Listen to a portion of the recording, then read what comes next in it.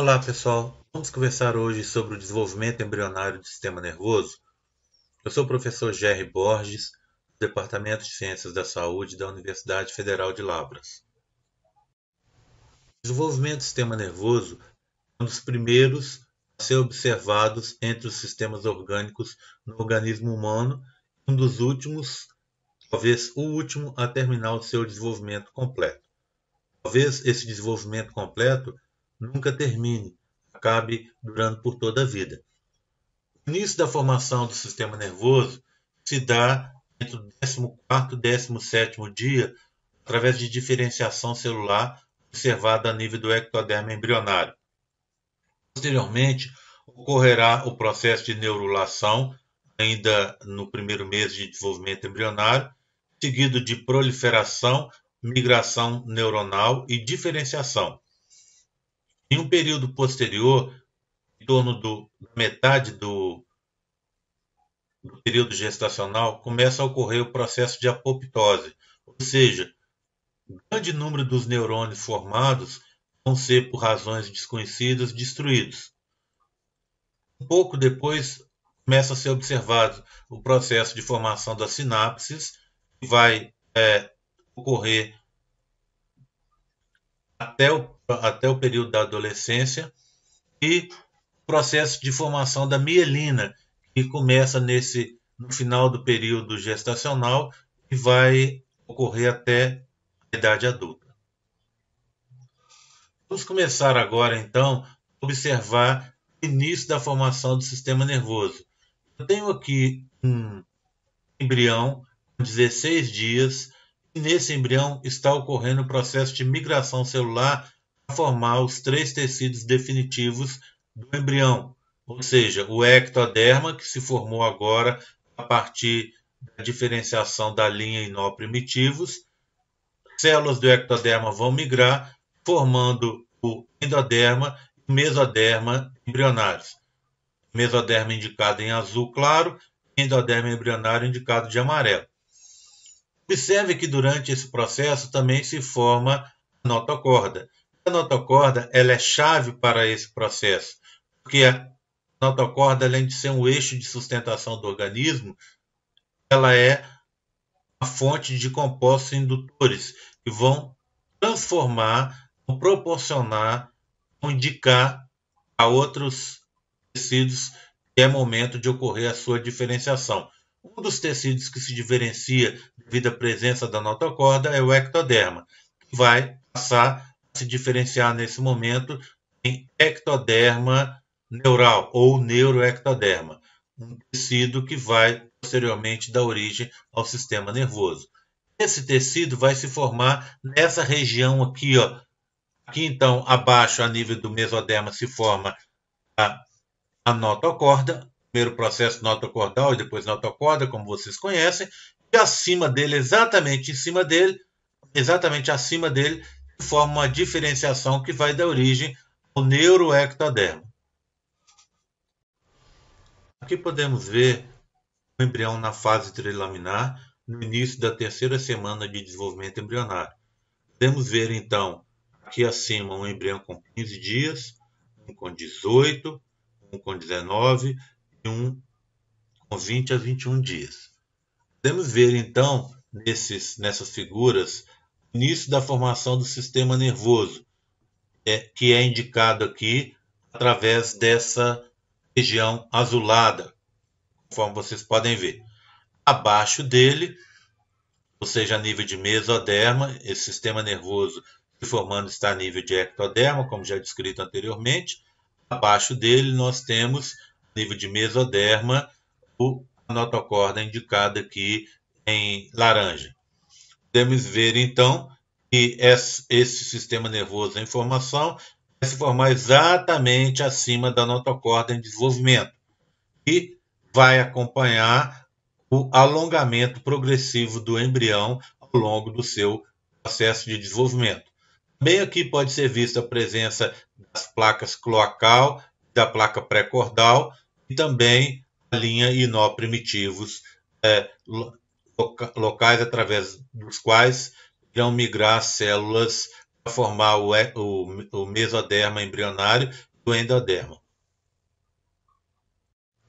Vamos passar agora a descrever o processo de neurulação, as primeiras etapas de transformação observadas no sistema nervoso. Esse processo ocorre no início da terceira semana. Aqui, então, nós temos um embrião de 18 dias, onde pode ser observado uma visão superior e um corte transversal desse embrião aqui na figura B. Podemos notar que a partir da retirada da cavidade amniótica é possível ver um tecido mais externo, o ectoderma de revestimento, que no futuro vai dar origem à epiderme, neuroectoderme, formado a partir de indução da notocorda. Esse neuroectoderme está abarcando agora o antigo nó de Hansen e a linha primitiva. Podemos ver que nas bordas do neuroectoderme há um outro tecido também de origem neural, chamado de pega neural.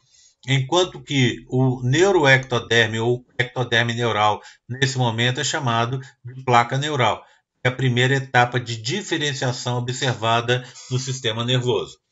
Vamos agora observar a partir de um corte transversal na região cefálica desse embrião. Podemos ver então, abaixo, o saco vitelino secundário, acima a cavidade amniótica, o ectodermo de revestimento aqui, a região da esplancnopleura extraembrionária indicada aqui, formada pelo mesodermo extraembrionário folheto interno e pelos aminoblastos, e aqui embaixo pelo mesmo ectoderma e pelo endoderma extraembrionário. Podemos ver que o disco embrionário nesse momento possui embaixo o endoderme embrionário, formando o teto do saco vitelino, o mesoderme intraembrionário. No interior desse mesoderme intraembrionário está presente a notocorda. E acima temos o neuroectoderme, representado aqui na forma de células altas, prismáticas, é, denominadas placa neural. E na região limítrofe, ou seja, separando a placa neural do ectodermo de revestimento, nós temos região das pregas neurais, vão fazer, vão estar posicionadas em torno, delimitando externamente toda essa região da placa neural. Vamos agora passar para observar um embrião com 20 dias.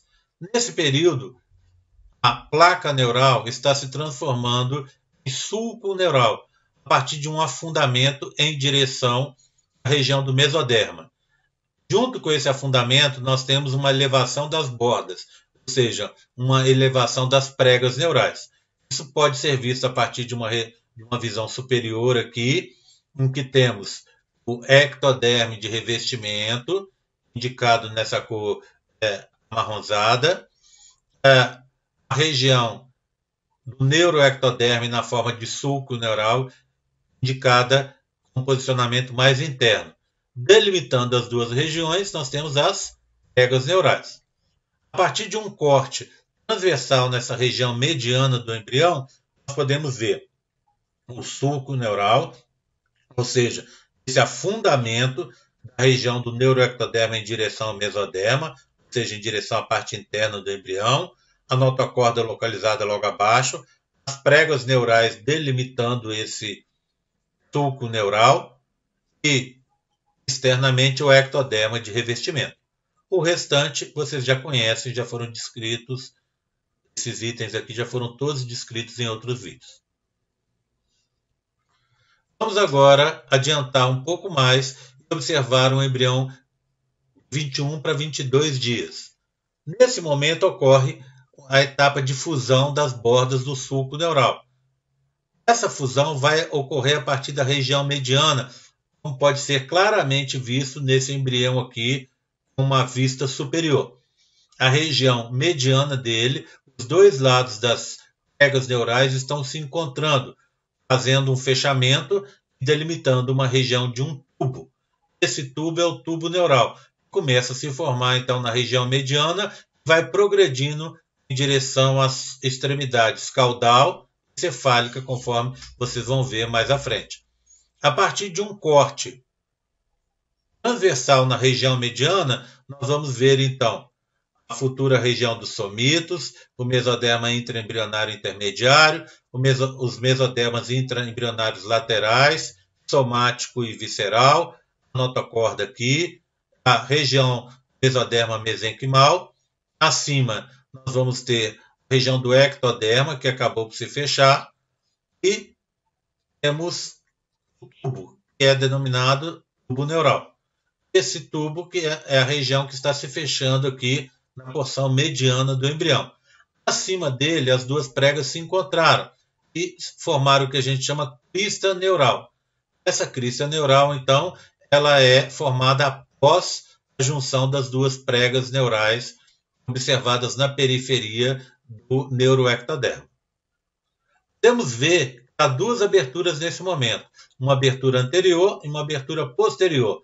Essas aberturas são os chamados neuróporos, vão comunicar até esse momento a região do tubo neural com a cavidade amniótica.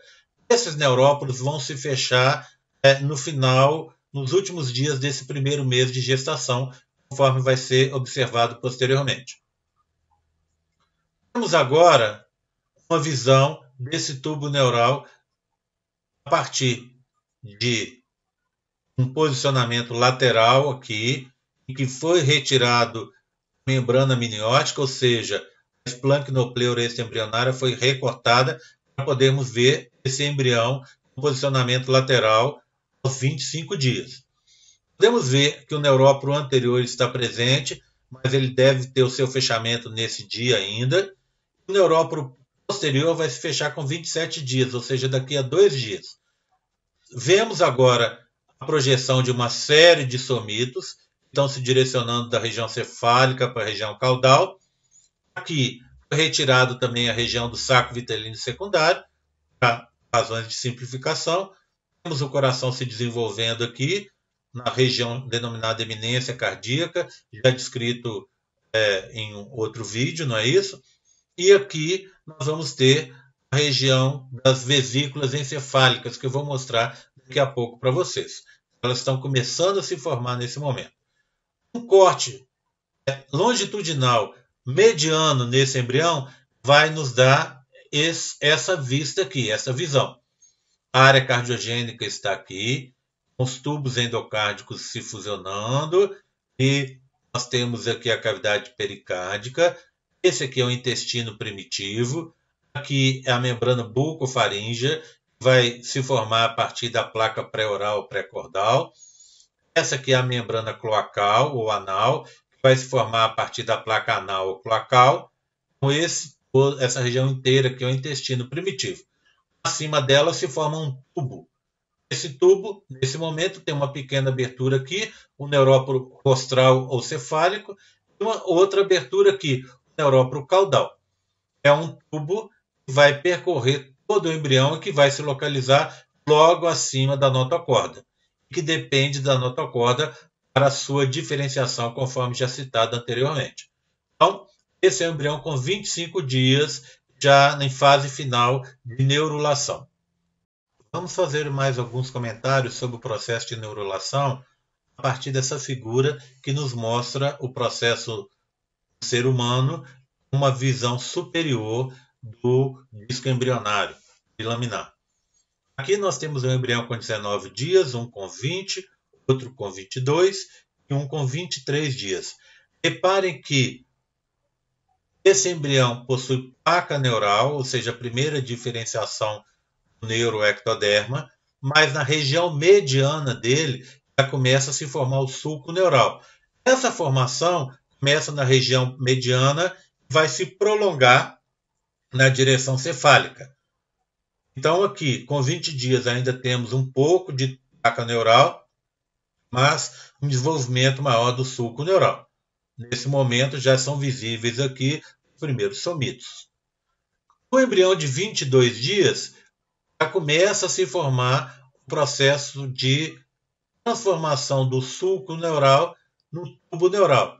Também essa, essa transformação ocorre pela região mediana e vai é, transcorrendo, vai ocupando o restante do embrião com direcionamento cefálico direcionamento caudal. Com 23 dias, temos bem estabelecidos uma abertura anterior, neuróporo anterior, uma posterior, neuróporo posterior. Essas aberturas vão se fechar com 25 e 27 dias, respectivamente.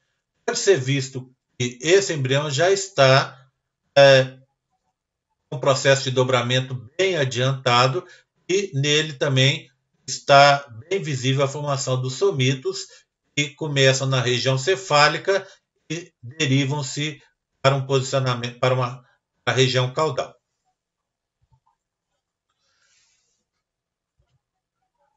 Nesse processo, então, ocorre a formação de uma placa que vai se dobrando, formando um sulco e vai se fechar, formando um tubo. As duas regiões é, superiores são as pregas, que se juntam, formando a crista neural.